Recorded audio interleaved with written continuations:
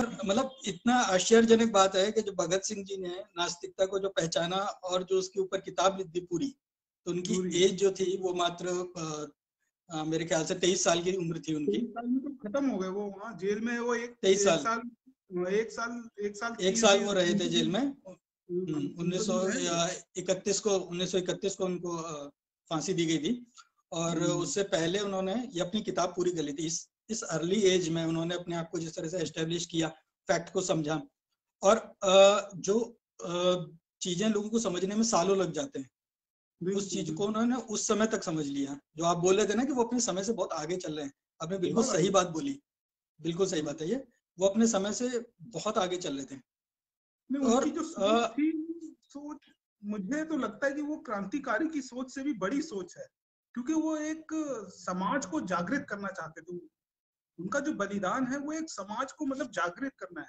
और समाज जागृत हुआ ना हुआ हो लेकिन आज के दौर में वो मुझे लग रहा है धीरे धीरे प्रासंगिकता उनकी बहुत बढ़ रही है और हमें उसका प्रचार प्रसार करना ही होगा। अगर हम नहीं करेंगे तो कौन करेगा? भगत सिंह हमारे हैं। जी बिल्कुल। भगत सिंह हाँ। हमारे हैं। और हमें मानना चाहिए मानने से क्या हमें उनको जानना चाहिए। मतलब मानना और जानना मैं दो वर्ड में नॉर्मली यूज़ करता हूँ ऑनलाइन भी कई बार यूज़ करता हूँ। हमें उनको मानने से अच्छा है कि उनको जानना चाहिए या उनकी मानना चाहिए। ये लास्ट टाइम ही मैंने एक, एक बहुत बड़े थे व्यक्ति उनके बारे में लिखा था। अभी मैं इसको सेपरेट बिल्कुल रखूँगा।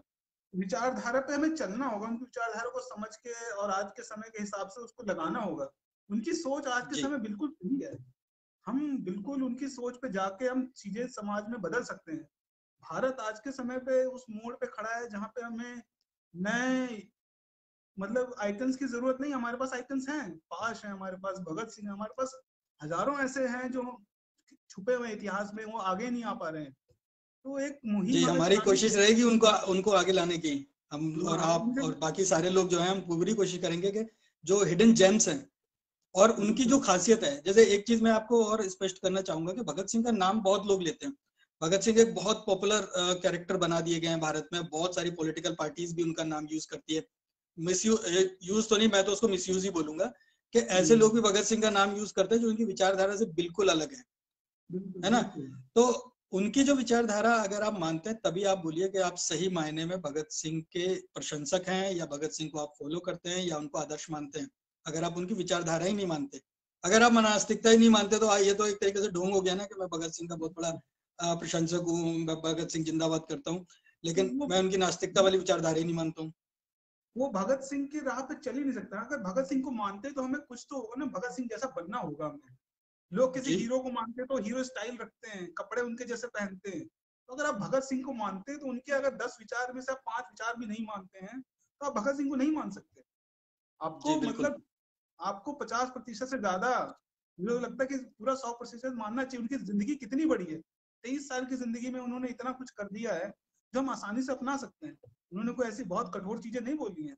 बहुत ही साधारण तरीके से, बहुत ही बहुत ही सही चीज़ें बताई हैं कि भाई क्यों मैं नास्तिक हूँ? भाई कोई, जब कोई अपराध हो रहा होता है तो कहाँ रहता है ईश्वर आपका? तो एक छोटी सी बात से वो खत्म करते हैं कि ईश्वर का मतलब कोई जगह नहीं है। आदमी ही ईश्वर है। आदमी ही सब कुछ करता है और भौतिकतावाद पे भी उन्होंने ज़ोर ज़ोर दिया, जो कि मतलब एक तरीके से जो कैपिटलिज्म है उसके अगेंस्ट थी उनकी सोच और वो बहुत सही सोच है। कैपिटलिज्म आज के टाइम पे हावी हो रहा है उनके हमारे ऊपर बहुत ज़्यादा। उनकी सोच थी कि सामाजिक होना चाहिए सामाजिक कृतियाँ भी जानी चाहिए। वो इक्वालिटी को भी लेके थे वुमेन्स के लेके वुमेन्स को लेके भी काफ़ी प्रखर थे उनके विचार और जो भारत में जातियाँ बटी बनी हुई हैं जो सामाजिक कृतियाँ हैं उसको लेके उनकी सोच तेईस साल में कैसे पनपी ये बड़ी बात है क्योंकि वो क्रांतिकारी भी थे उनके उसके साथ वो सामाजिक कार्यकर्ता भी मुझे लगता है कि थे। अपने पिताजी के साथ या अपने परिवार के साथ उन्होंने मुझे लगता है काफ़ी कुछ सीखा। लेकिन जो टीवी और मूवीज़ में आता है वो सब दिखाते नहीं है वो सब। कि वो कैसे प्रभावित हुए इन सब चीज़ों से। हमें जी बिल्कुल एक यही बात है ना कि भगत सिंह की हम जब स्कूलों में भी पढ़ाने की बात करते हैं या भाषणों में भगत सिंह का ज़िक्र करते हैं या या कहीं और पे भी भगत सिंह का ज़िक्र करते हैं तो भगत सिंह की मानसिकता को ना ये गायब कर दिया जाता है। मतलब सिर्फ़ हम पोस्टर बॉय तो यूज़ कर रहे हैं। और मतलब वो लोग एक्सट्रीमिज्म जिनको पसंद है, वो लोग भी भगत सिंह का यूज़ करते हैं। जो कैपिटलिज्म पसंद करते हैं, वो लोग भी भगत सिंह का यूज़ कर रहे हैं।